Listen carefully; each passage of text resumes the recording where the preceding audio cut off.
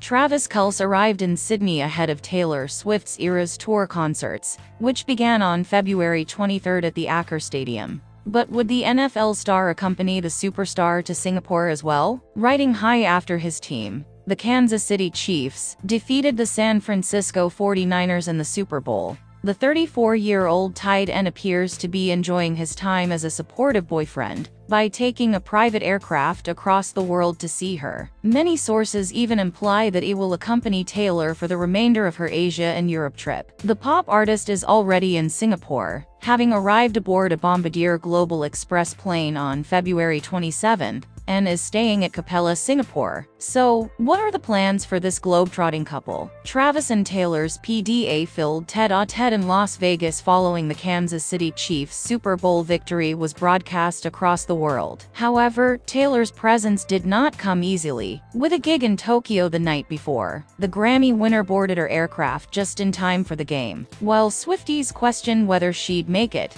Taylor said goodbye to jet lag and hello to being the most supportive girlfriend. Of course, having your own jet on standby can assist. Travis Kelce's father, Ed Kelce, told people about his view of Swift following the Super Bowl win. The NFL star's father revealed that he has gotten close to Taylor Swift's father, Scott Swift, and that the two bonded over their love of the NFL. Scott had played college football, so he was immediately into it. I think he likes that his daughter is dating a football player rather than a musician, Ed said. He praised Swift for being probably the most famous person in the world, but also for being so warm and gracious in every meeting and game. She is a huge football fan, and she leads by example during games. I was so amazed that during the Super Bowl, my mates and I left some rubbish near us, and when Taylor got up, she stopped and picked everything up and put it following the celebrations, which included TNT partying with the Kelce parents,